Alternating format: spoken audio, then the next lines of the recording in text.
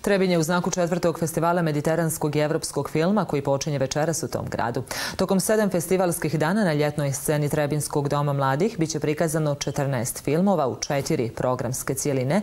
Mediteranski film, evropski film, novi srpski film i omaž laureatima Hercegovine na filmu. Festival u saradnji sa Alpe Adria Culture Networkom iz Beča organizuju Tangram centar iz Beograda i Kulturni centar Trebinja.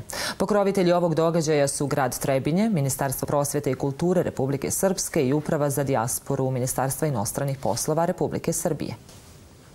Dodjelom nagrade Zlatni platan glumici Tanji Bošković i projekcijom filma Igra u tami Juga Radivojevića večeras će u Trebinju zvanično početi četvrti festival mediteranskog i evropskog filma. Osim Tanje Bošković, ovogodišnji laureat Zlatnog platana, nagrada za izuzetan doprinos evromediteranskoj kinematografiji je i Rade Šerbeđija.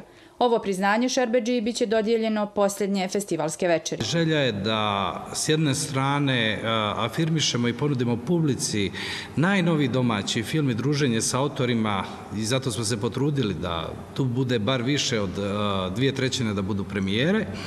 S druge strane da njegujemo ta, tu komunikaciju i kulturnu razmjenu sa ovim našim mikroregionom i, i konačno da imamo sa ovim širim mediteranskim regionom da imamo da imamo tu interakciju da kažem. Novina u odnosu na prethodne godine jeste i promo štand koji će biti postavljen u gradu da bi se, kažu organizatori, dio filmske atmosfere prenio i na gradske ulice.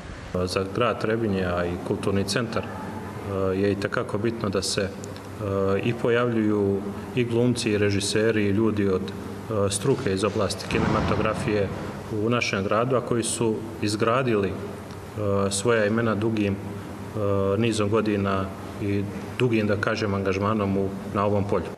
Festivalski program počinje svake večeri u Domu mladih u Trebinju u 20 časova i 30 minuta, a za sve projekcije ulazi slobodan.